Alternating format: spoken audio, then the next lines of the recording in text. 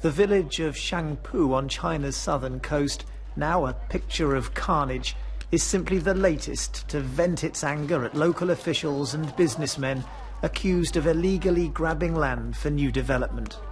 As the annual parliamentary gathering, the National People's Congress, convenes in Beijing, these scenes are a reminder of the simmering social conflict in China's vast countryside, with an estimated three to four million farmers dispossessed of their land every year.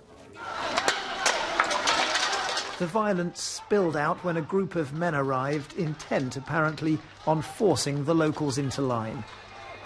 One man can be seen firing a handgun into the air. But the villagers fought back, chased them off, and are now manning their own checkpoints.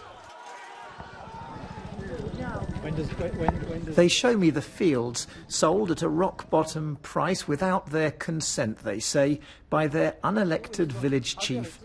It is now earmarked for a new factory.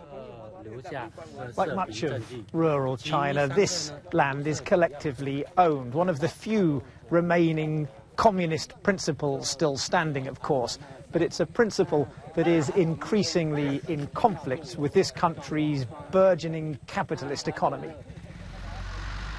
Local governments are heavily incentivized to boost economic growth, add corrupt officials into the mix ready to take their own cut, and China's farmers often don't stand a chance.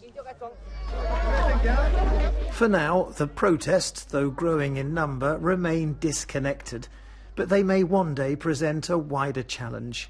We strongly request legal democratic elections, this banner reads. A demand for local reform it may be, but it's one with troubling connotations for the party elite now meeting in Beijing. John Sudworth, BBC News, Shangpu.